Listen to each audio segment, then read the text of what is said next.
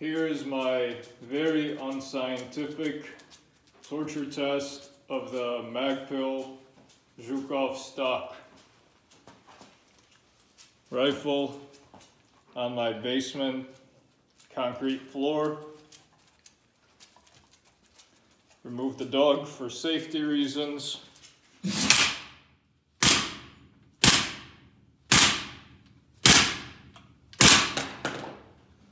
Well, the scope fell off, but the stock seems to be just fine. To make sure it can still open. Still opens, still closes. Give it a couple more whacks.